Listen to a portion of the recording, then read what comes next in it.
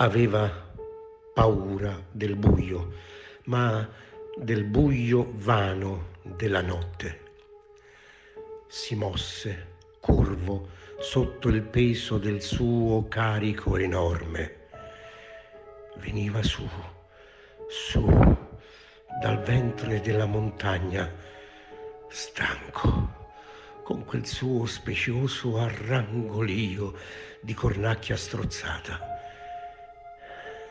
Saliva, saliva, ma non vedeva ancora la buca che di lassù s'apriva come un occhio chiaro d'una deliziosa chiarità d'argento. Se ne accorse solo quando fu agli ultimi scalini.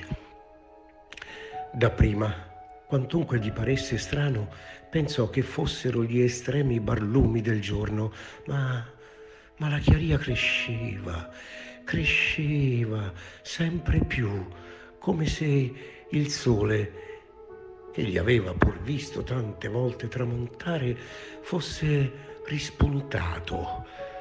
Possibile.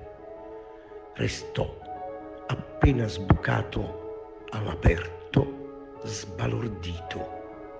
Il carico gli cadde dalle spalle. Sollevò un poco le braccia, aprì le mani nere in quella chiarità d'argento. Grande, placida, come in un fresco luminoso oceano di silenzio, gli stava di faccia la luna. Ah, sì, sì, egli sapeva che cos'era, ma, ma come tante cose si sanno a cui non si è dato mai importanza. E che poteva importare a Ciaula che in cielo ci fosse la luna. Ora, ora soltanto così sbucato di notte dal ventre della terra, egli la scopriva là, la luna estatico, cadde a sedere sul suo carico davanti alla buca.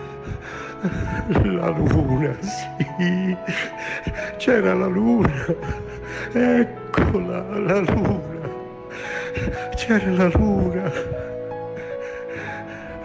E Ciaula si mise a piangere, senza saperlo, senza volerlo, dal gran conforto dalla grande dolcezza per averla scoperta là, la luna, mentre ella saliva alta per il cielo col suo ampio velo di luce, ignara dei monti, dei piani, delle valli che rischiarava, ignara di lui che pure per lei non aveva più paura né si sentiva più stanco in quella notte ora piena del suo stupore.